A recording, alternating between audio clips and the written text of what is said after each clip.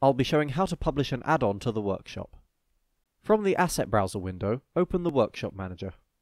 Here we can upload and update workshop entries. Click the plus icon to upload a new workshop entry.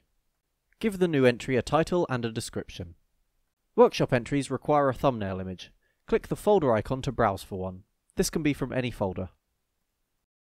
The add-on folder drop-down menu will let you change which add-on you are uploading. It should default to the one you currently have open. Finally, select a visibility and click Submit. The upload may take a while. Once the upload is complete, the workshop page will appear in your browser. Here you can add more details and images about your add-on. To update an existing workshop entry, return to the Workshop Manager window. Here you'll see a list of add-ons you've uploaded to the workshop. Select the workshop entry you wish to update and click the Re-upload button. Fill out the changelog and hit Submit to update the workshop entry.